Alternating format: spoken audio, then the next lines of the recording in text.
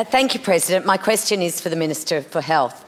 At a recent voluntary assisted dying information session, the chair of the government's implementation task force stated that two GPs could not complete a certification process as one of them must be, quote, a specialist in the terminal disease under consideration, unquote.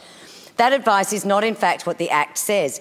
It says that at least one of the two doctors must have relevant experience and expertise in the particular terminal illness, not that they must be a specialist.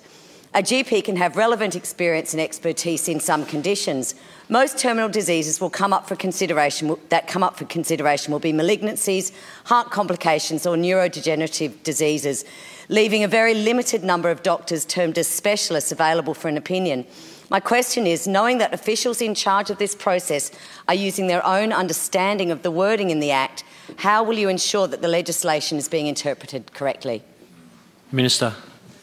Uh, thank you, and I thank uh, the member for uh, for her question. And I know she's been very busy today doing a bit of media uh, around uh, around the assisted dying scheme. Um, the uh, the assisted dying scheme members would be aware is commencing soon, um, just in, in, fact in a few weeks' time on the 19th of June, and there has been a great deal of work um, undertaken in the 18 months since the legislation passed um, the Parliament uh, to ensure that we get uh, every aspect of the implementation uh, right. And, and I want to uh, pay credit and acknowledge uh, the support of uh, members present who supported um, this groundbreaking legislation.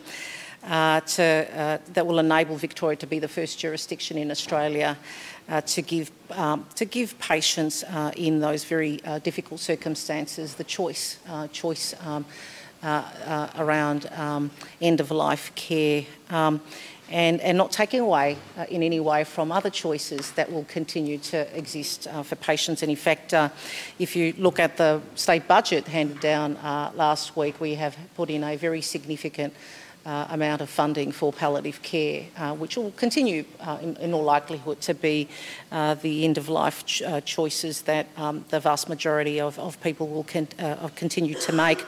Um, as, as, part of the um, implementation, um, the there have been uh, a number of navigators uh, that have been employed uh, that are available to patients but also to clinicians uh, to uh, make contact with and, and seek advice about um, uh, medical practitioners in their uh, uh, locality uh, um, who have the requisite, um, who have undertaken the requisite training and have the requisite um, expertise to assist them with these decisions. Um, and in fact, um, I'm, I'm, I'm pleased to inform the member that there have been a uh, considerable increase in the number of clinicians who have been undertaking the relevant training uh, in, uh, in recent weeks as, uh, as we're getting closer to the start date. I guess the, the interest has been heightened uh, and I think there will continue to be uh, continued interest amongst clinicians um, even once this has commenced and I think over the period of time we will see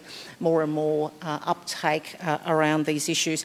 Uh, look, I, I, think it is absolutely important that uh, people are given um, information that is accurate. Um, there's been a, a, vast array of resources and tools that have been prepared to support both uh, patients, their family members and, and clinicians uh, with uh, these, uh, these uh, issues, um, uh, including uh, videos that, that the member might be aware um, have been produced. So I'm very happy to, um, to sit down with the member and have a discussion about specific concerns that she might have because the last thing I want to be Thank doing you, Minister. is to increasing the anxiety that some people might have. Ms Patten on a supplementary.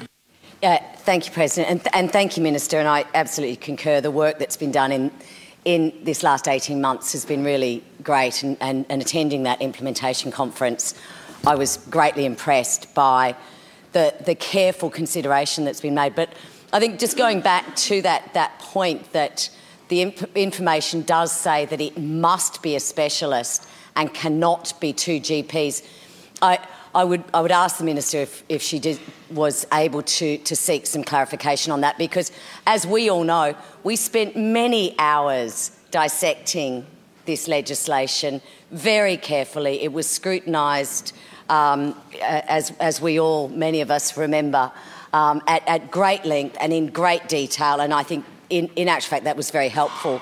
Um, a lot of it was very helpful, let's just say that.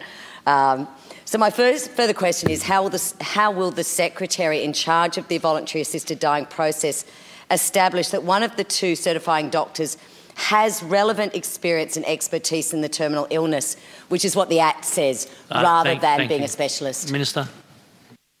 Look, there, there is a, a, review panel um, that uh, the member would be aware will be examining uh, these matters um, after the event. Um, uh, and that's to ensure that there is um, uh, demonstrated um, expertise. The second GP would need to be able to demonstrate required specialised experience uh, look, I, am very happy to sit down with the member to have a discussion around uh, where um, different information is circulating around these issues because I think it's really important, and this is why I guess I'm, I'm being very cautious in what I'm saying about these matters, um, that we're not uh, uh um, uh, have uh, misinformation uh, circulating about the implementation and the operation of this legislation. Very happy to examine what more can be done uh, in this space and if there is um, any further guidance that needs to be provided to, ha to have a look at what uh, further uh, advice needs to be provided to clinicians working in this field. Um, so I